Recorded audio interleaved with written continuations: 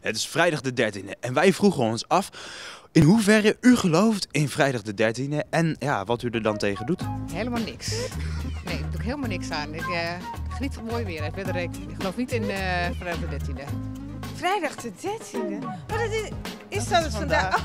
Oh, nou, dus, daar heb ik nog niet eens aan gedacht. Helemaal niks.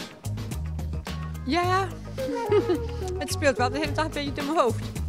Nou, ik sta er echt niet zo stil, nee. 0,0. En zo zie je maar weer dat vrijdag de 13e gedoe, dat leeft hier helemaal niet.